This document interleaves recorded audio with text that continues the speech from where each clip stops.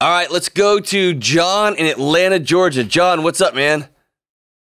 Hey, Dr. D, how are you? I'm awesome. Hey, listen. So, inside baseball, what in the world happened last time we were supposed to meet? You're supposed to be on the show a few shows ago, and what happened? Well, I was trying to be a good citizen since I'm a firefighter, um, and uh, didn't want to talk while holding the phone uh, in, the, in the car. And I tried to pull over quickly, and uh, forgot that I had a trailer on the back of my truck, and sideswiped a car. It was awesome. You got so it was your fault? hundred percent my fault. oh man, are you okay? Oh, it was it was like a fender bender.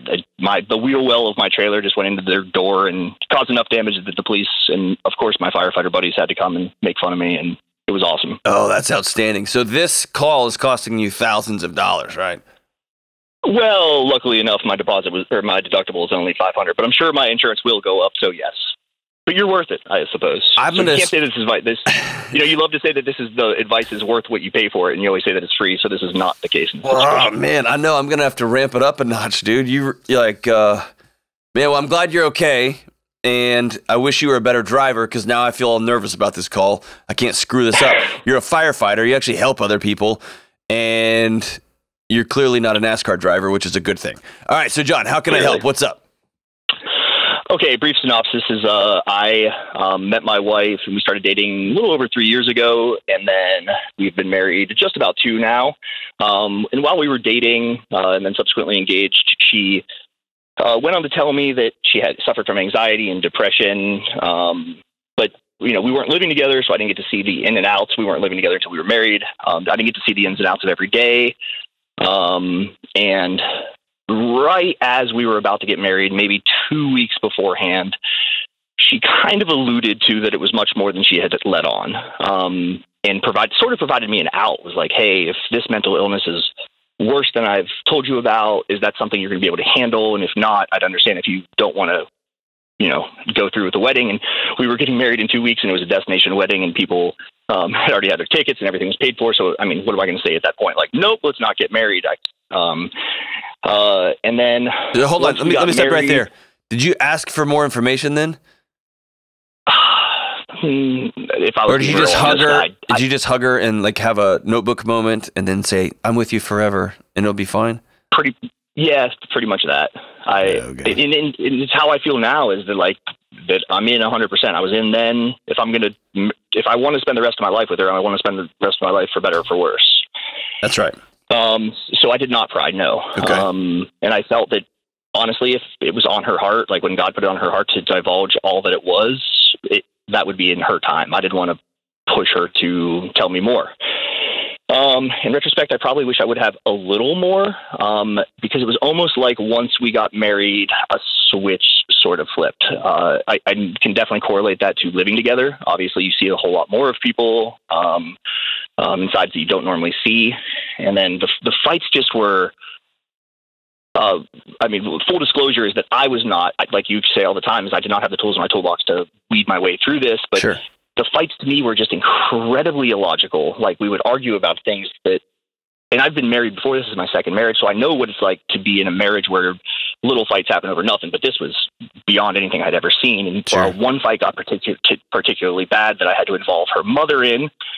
Um, Did and then her mother went on to, Did you? uh, yeah, oh, because I was worried about her safety. To be honest with you, um, yeah, but you, all right, man. When you st- No, no, no. And, and one time, out time. Let me back up too. This was also uh, at man at, at her suggestion, which was, "Hey, I think you should talk to my mom about some stuff that's going on. She could probably help you navigate this." So this was at her suggestion, uh, also.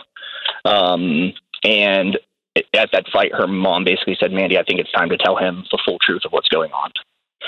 Um, and that full truth was So- that she was. hold on. So her mom knew that she had been holding things back from you and lying to you before you got married. Uh, I don't think necessarily she knew that. I think it came out in this big in that big fight that I'm referencing. That you had no idea. Correct. Okay. So And- I, I, before you keep going, I, want, I just want to back up. For anybody listening to this, it is not quote unquote prying to get full disclosures of medical issues, of mental health issues, of personal challenges, of past history. You are the, the idea of marriage is to become one. You are hitching yourself to somebody else and saying ride or die till this thing, till the wheels fall off this thing. It is not prying. It is not like, hey, digging in. It's not, hey, you can tell me on your own time. Man, you got to talk. You got to talk to each other, man. Um, Sure. and if you're on the other side of this and you're with somebody and you're dating somebody or you're thinking about it, you got to be honest. You got to tell the truth. Otherwise, you become you're it's not just my personal thing. It's deceitful. You're lying. You're not telling the truth. And I know that's hard to wrap your head around um, the woman you love, but wow. And um, okay, so you things get so bad you got to call mom and then what happens? She went on to tell me that she is uh, uh, clinically diagnosed um, with bipolar type 1. Okay. Um, she has a, uh personality dissociative disorder, um, a mood lability, kind of the same thing in that same category, and then severe anxiety and depression. Okay. Um, she does have substantial past traumas, um, molestation by family members, and then when she uh, reported it to her parents, her parents basically told her she was a liar. Um, Oh, sweet. And so Way to go, was, she has a lot of traumas that in her past, Yeah. and the long and the short of it is that in the beginning I was, you know, so confused, and I was not a Delony disciple at that point. um, and being a critical care paramedic and a firefighter, I did what I'd say. The more I hear your show, most guys do who have the best of intentions. Is I tried to fix it. Try to go solve it. That's right. Yeah. Yeah, and I really had the best of intentions, and it just was not what she needed, and I didn't know that at the time. Yes. Um, uh, and that's it hurts my heart that I maybe furthered her um, her state at the time. Um, I wish I could say that was all all the problems that we had aside from the fights and the ups and downs of bipolar. People don't realize. I mean, I hear people say all the time, just friends of you know, not friends of mine, but just people around, like, oh, my spouse has bipolar, but.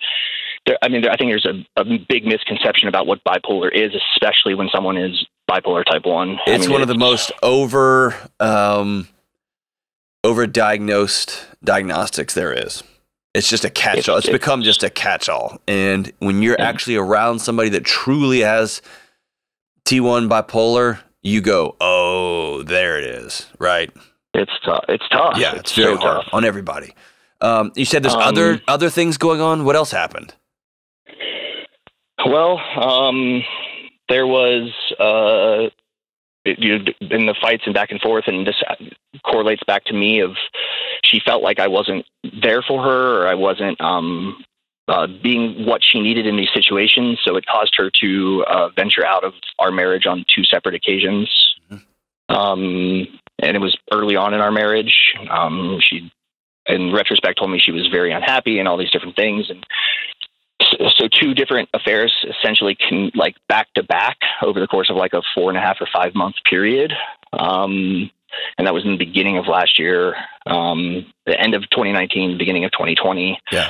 she said it was never anything physical and i actually do believe her we've had a lot of counseling and therapy back and forth Okay. over it um, but it was when anytime the person that you love goes somewhere else for satisfaction even if it's just emotional satisfaction it's it's a hard pill to swallow Yeah. In, in, uh, in- in- all, that is. Go- Oh, go go ahead. ahead. Top it all off. I got to hear this one. uh, um, so it just was in. It was after talking. Cause I've been in therapy pretty much the whole time since. It seems like it was as a result, not necessarily as a result, but these things were definitely weighing on her about her feeling terrible about herself. Um, she attempted uh, suicide Mhm. uh, last year uh, in June of last year. Man, I'm sorry. Uh, so we just had the one year anniversary of it, and um, uh, it's been it's been a really really hard two years. Yeah. Yeah. And really, the reason why I'm calling is not to. I feel like I'm uh, venting or complaining, and I'm not. It's I'm more calling for encouragement because uh, so often we hear a verse, and I have it written on my fire helmet, underneath the brim of my fire helmet, is that man knows no greater love than this, that um, one would lay down his life for another. And my whole life, especially being a firefighter for the past 17 years, I have always thought about that as literally laying down your life for someone, dying for someone else. But God's almost put on my heart that you can lay down your life on a daily basis for someone. And like I said earlier, I I choose her for better or for worse. Would I leave her if her if her diagnosis or her illness was cancer or some other debilitating disease? I would never. So why would I consider that in a mental illness situation? So uh, I'm more calling for encouragement or you know when the days get hard. Yeah. So number which they are one, hard a lot. yeah, yeah, it's real hard, man. And so first, thanks for sharing that. And for those people who live with somebody or love somebody who's got bipolar, um, there's not going to be a dry eye on this call because they've lived what you're going through. And so here's a couple of things to step back, and um, you may know this, but hopefully I can say it really clear for you. Um, when you've got somebody who's suffered physical abuse, sexual abuse, especially at the hands of loved ones, the reason that is so evil is it makes the only thing that can keep somebody well, which is relationships, it becomes the weapon. So her brain has been scanning her environment for the last 20 years, 30 years, looking for somebody trying to get close to her so that she can sound the alarm so that person can never get hurt, never hurt her again. And now that person is you. Right? And so there's part of her brain that knows you're the safest, most loving, most wonderful person on planet Earth. And there's a part of her brain deep inside that says, get away from this guy. This is going to happen again. And it's going to happen again. And it's going to happen again. Right? That's what trauma does. And when folks stepping out on mar- on relationships, marriages, that's a common thing with bipolar one, right? You, you probably were told that in therapy um, sexual acting out, addiction, just running and running and running and running until somebody collapses and then not running, right? Just like the whole world is paused. Um, it is hard. Does she have medical care? Is she taking her medication? Uh, yeah, she's been great about it. She has fought hard over the course of the past year. I think the suicide. Good. I mean, she did a. She she scared everyone, including herself, with her suicide attempt. She she meant it when she tried it. It wasn't like one of those things, a cry for attention Sure. in any way. She so it scared her, and she has worked tirelessly over the course. of We both have. We I have not only fallen in love with your program. You've helped me more than you can that I could ever put into words, just with the tools that you keep putting in my toolbox. But Well, I appreciate that, man. she is, and we bo- she's been seeing a, a her a clinical psychologist as well as a psych or I'm sorry, a clinical psychiatrist, pardon me, as well as our psychologist that we both see independently and together. Good. So here's here's the things that you're going to need to do. Okay. Okay. And it's going to sound counterintuitive, but you are going to have to really work hard on making sure you're okay. Think of yourself as a stake in the ground into bedrock, okay? And you are married to somebody who, on some parts of that month, and you'll know what I'm talking about, loves you with an intensity that people only dream about. When it's good, it's real good, isn't it? It's the best. You're the in most world. incredible person who's ever lived, right? Maybe this is a terrible analogy, and so I hope the internets don't beat me up for this. It's kind of like a tether ball, and you are that you are the pole, and you married a, a a bird who is constantly flying all over the place, but she's tethered to you. And sometimes, man, it is the greatest, and sometimes it feels like you're the whole thing's gonna fall over, right? Yeah. and I said tetherball and bird. I realize that doesn't all work out together, but um, you've got to be that rock in that center. Which what does that mean? It means you got to be diligent about taking care of your physical body. You got to exercise. And I know you're a fireman. I know y'all do that. You got to be really diligent about having guy friends in your life, other men who will hold you accountable, who will laugh with you, who will you can go get a drink with, you can just go be with, right? You have to be really, really diligent about continuing to um, take care of your mental and spiritual self, right? Have people in your life, whether that's a counselor, whether that's a good pastor, whatever that looks like for you. And then you're going to have to just soak up the great, great times. And then you're going to have to default to routine and practice when things get hard. And I love your spirit. You're in it. Sounds like you are in it, all in it. And then you're going to have to be able to hold your wife accountable. She's got to take her medication. I've seen some really remarkable success stories with folks who will continue to take their meds. And it's hard when things get really good for a season. man, it's easy to stop taking your meds, and that's when you've got to double down and make sure you're still taking them. Um, and people who with bipolar, they really, really miss the high parts because it feels so good, right? And Right. Y'all are gonna have to be in that part together. But yeah, you've anchored yourself to a hurricane, which is great and hard and messy.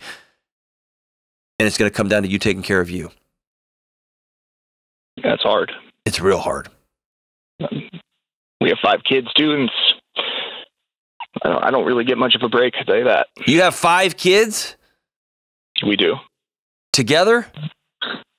Uh, no, she has two biological from her previous marriage. I have two biological from my previous marriage, and we have an adopted one between us. Y'all adopted a kid too? Yes, sir. When did y'all do that? What has the last two years been like for y'all? It's a little bit of a wild ride. What are you doing? man? Ah, man. John, you're my hero today. Yeah, you don't get much of a break. You know what that means? It means you absolutely have to have a break. Okay? And you're going to have to do something that firefighters do not like to do. You're going to have to ask for help. Yeah. And you're going to have to demonstrate for your kids, all five of them, that the best way you can love other people is to love yourself first. To make sure you're healthy first. Right? Yes, sir. And you know this from being a fireman. You're of no good to a, people in a burning building. You're no good in an EMS situation if you haven't slept. And if you're not feeling good. sir. and if you're not thinking clear, right? How much more important than it is for your kids, right?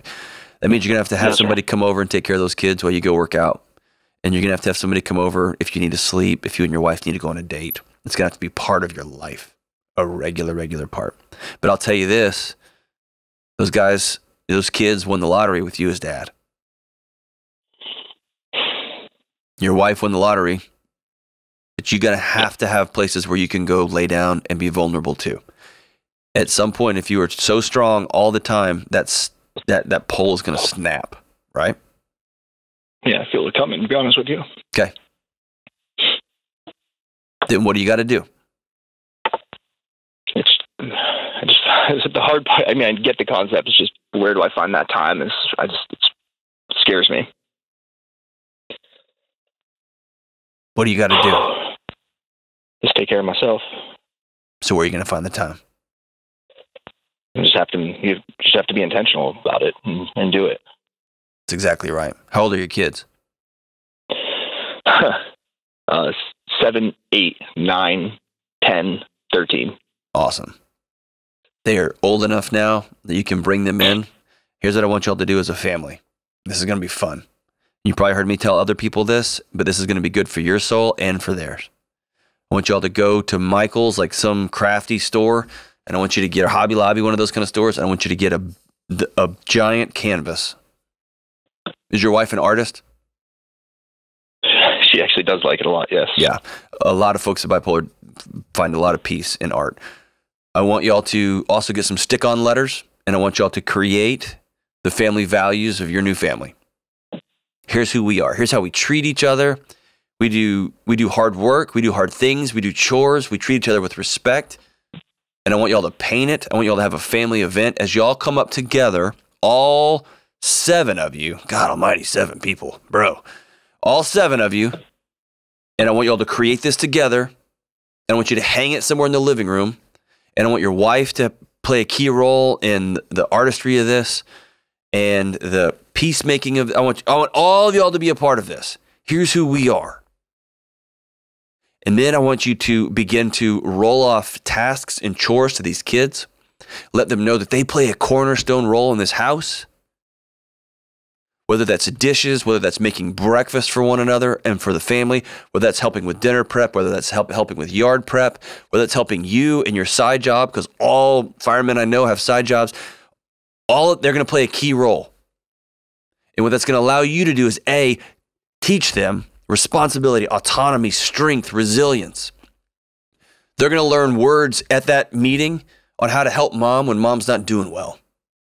How to to lean on you and not on mom during those hard seasons, and how to lean on mom and not on you when you're having hard seasons. And as a fireman, you will. And then you're going to begin to create space and you're going to lead the way for that family saying, I need one hour a day to go work out.